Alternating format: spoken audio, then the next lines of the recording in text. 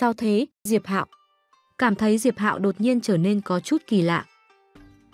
Không, không sao, chúng ta tiếp tục tiến về phía trước đi. À, được. Sắc dục sao, mình có dự cảm không lành đó.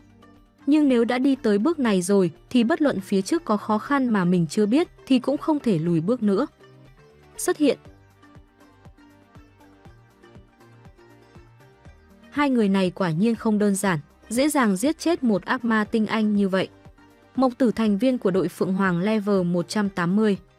Cũng may mình giỏi về kỹ năng tiềm hành của thích khách, nếu không có dùng đạo cụ tra dò năng lực ẩn thân cấp cao của mình thì không thể nào bị phát hiện.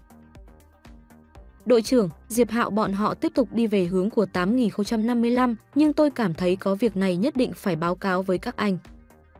Diệp Hạo bọn họ vừa nãy gặp được tên thần bí tự xưng là ác ma thương nhân, còn từ chỗ đối phương mà có được một chuông lắc ác ma kỳ lạ.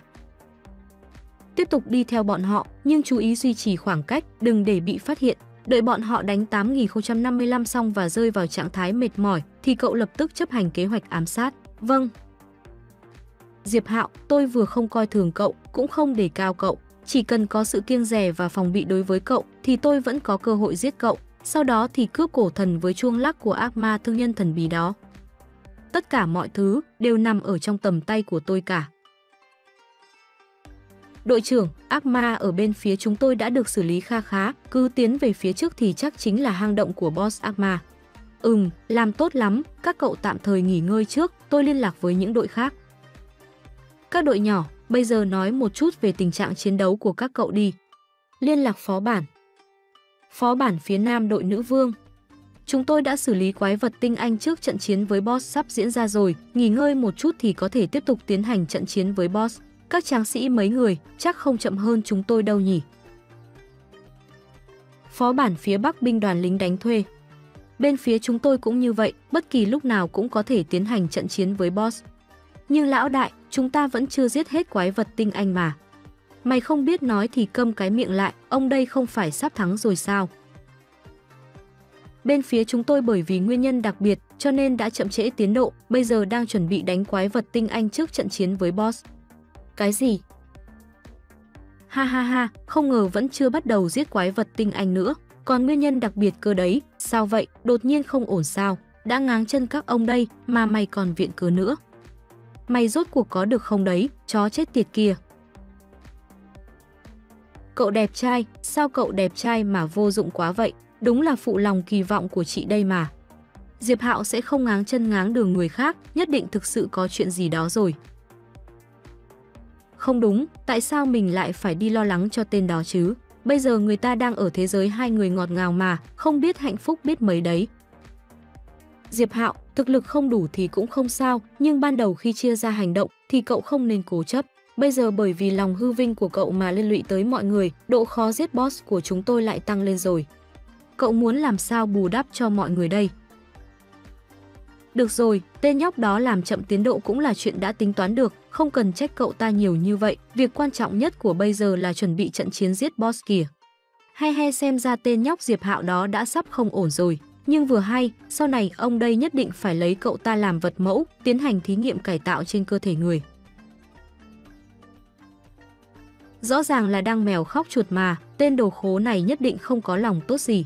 Còn những người khác nữa cũng không phải là thứ tốt đẹp gì. Không cần bận tâm tới bọn họ, chúng ta chuyên tâm về việc ở trước mắt là được. Em nhìn kìa, lại có hai thú cưng mới dâng tới tận cửa nữa kìa hơn nữa còn là miếng thịt tràn đầy sức sống và trẻ trung nữa. Tinh Anh mị ma đen Ừm chị ơi, trên người bọn họ có mùi, nồng đậm mùi thơm ngọt, em cảm thấy hưng phấn lên rồi. Tinh Anh mị ma trắng Diệp Hạo, anh đừng ra tay để tránh bị mị ma kiểm soát. Không chỉ là đàn ông mà phụ nữ cũng bị bọn ta kiểm soát đó. Đúng là thú cưng không biết điều, chủ nhân ta còn chưa nói thì ngươi đã chủ động bước đến, phải phạt ngươi trở nên đồ ngu mới được.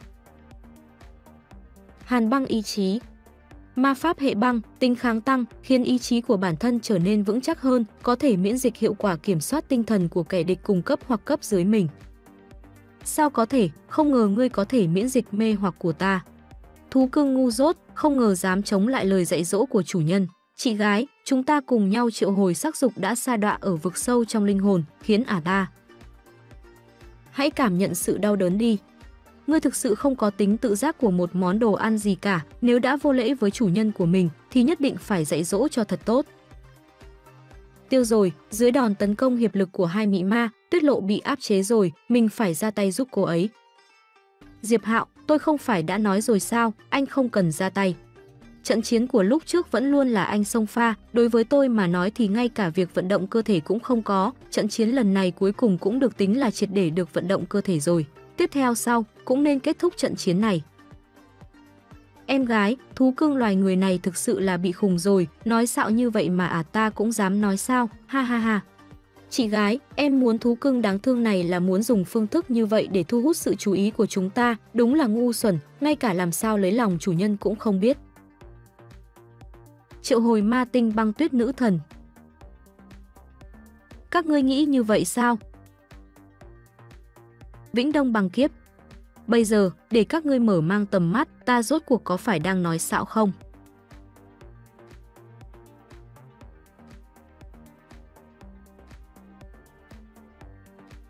Ưm, em gái, người phụ nữ loài người này không đơn giản, chúng ta xem thường ả ta rồi, chúng ta không phải đối thủ của ả ta. Tinh Anh Mị Ma Đen level 190 Tinh Anh Mị Ma Trắng level 190 Chị gái, em có cách rồi, đi theo em. Nếu như người phụ nữ đó quá mạnh khiến chúng ta đánh không lại, vậy thì đi tấn công người đàn ông vẫn luôn đứng ở một phía đi. Chúng ta có thể thao túng hắn để thay đổi cục diện. Xông tới. Tại sao? Không ngờ chúng ta lại bại dưới tay của phụ nữ loài người. Chị ơi, em không cam tâm. Tuyết lộ, cô lợi hại hơn lúc trước rất nhiều, một mình giết hai tinh anh cấp 190. Tiến lại gần. Nếu giết đồ khố, thì tôi đoán một mình cô cũng. Ừm. Tập phim hôm nay kết thúc tại đây. Mọi người nhớ theo dõi kênh để đón đọc tập tiếp theo nhé. ủng hộ kinh phí, edit dịch chuyện cho team bằng cách cày view trên các nền tảng này hoặc đỗ nết nha mọi người. Chúc mọi người xem phim vui vẻ. Đăng ký kênh và nhấn thông báo để nhận thông báo chuyện ra sớm nhất.